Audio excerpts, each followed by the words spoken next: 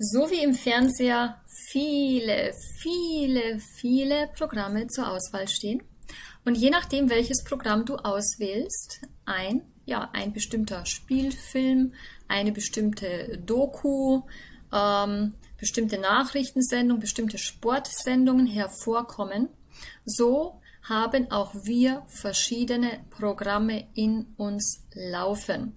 Je nachdem, in welche Situation du dich begibst, Je nachdem wird ein bestimmtes Programm getriggert. Getriggert heißt ja angestoßen. Und es erzeugt dann bestimmte Mechanismen in dir, sodass du dann bestimmte Gedanken hast, bestimmte Gefühle und bestimmte Handlungen ausführst.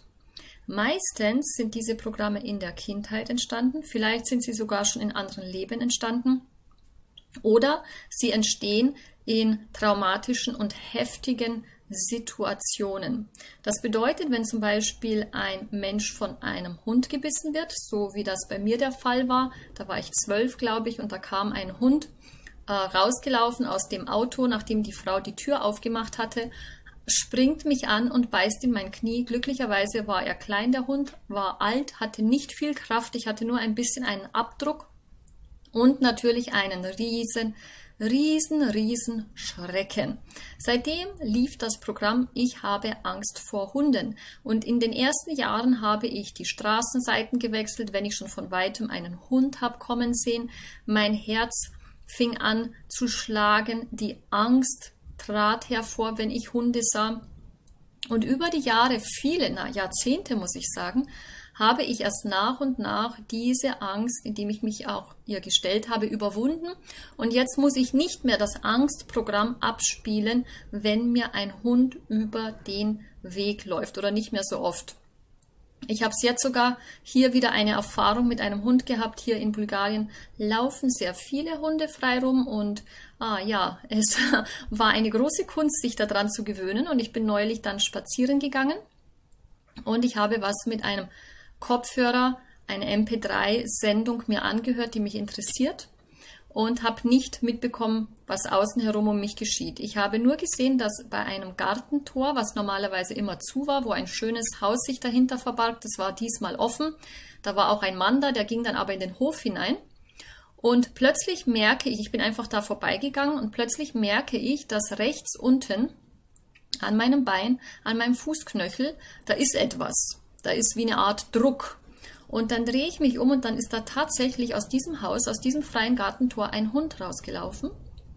Und dieser Hund hat mich geschnappt an meinem Fußknöchel. Er hat Gott sei Dank nicht zugebissen, entweder weil ich vielleicht gerade mit dem Fuß nach vorne gegangen bin, also ich hatte keine Schmerzen, keinen Biss, kein gar nichts. Er hat mich scheinbar nur verwarnt, er hat aber auch nicht gebellt, ich habe auch das nicht gehört. Gut, ich, es, ich hätte mich eh schwer getan, ich habe ja Kopfhörer aufgehabt. Aber bellen hört man ja normalerweise. Ich denke, der ist einfach nur rausgelaufen, hat mich verwarmt und hat nach mir geschnappt. Ich habe es gesehen, habe in dem Moment nur Hey geschrien, dann ist der Hund weggelaufen, fünf Meter, dann stand er da hinten, hat mich nur angeschaut.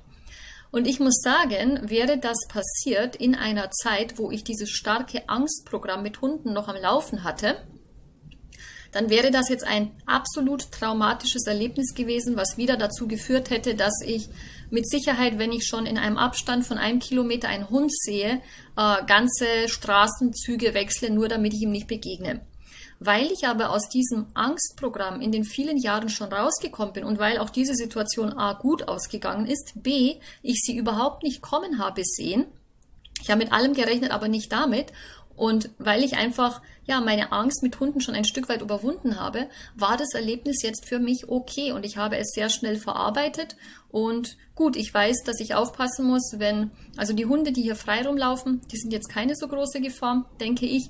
Äh, aber die, die in einem Haus sind, die ein Haus bewachen und wenn da ein Türchen offen ist, also da ist eher eine Gefahr, wenn dann jemand vorübergeht. Das habe ich gelernt auf alle Fälle. Naja, das ist nur ein Beispiel, damit du siehst, wie programmiert wir sind. Und je nachdem, was dir begegnet, was du siehst, welche Menschen du triffst, an was die dich erinnern, so werden die unterschiedlichen Programme in dir ausgelöst. Und von dem Aspekt her ist der Mensch nicht wirklich frei, weil wenn automatisch eine Schallplatte eingelegt wird, nur aufgrund von früheren Erfahrungen und so weiter, und du hier nicht bewusst und aktiv etwas anderes ja tust oder dir dessen bewusst bist, damit du diese Schallplatte aufhalten kannst, dann wirst du immer wieder die gleichen Themen in dein Leben ziehen. Und deswegen ist es so, so wichtig, sich mit den eigenen Programmierungen auseinanderzusetzen. Und deswegen sind sie natürlich ein Bestandteil in der Selbstverwirklichungsakademie, die am 13. Januar 2017 an den Start geht. Außerdem ist es so, dass ungefähr zehn Hauptglaubenssätze die Menschen davon abhalten, sich selbst zu verwirklichen. Das sind ihre Hauptblockaden.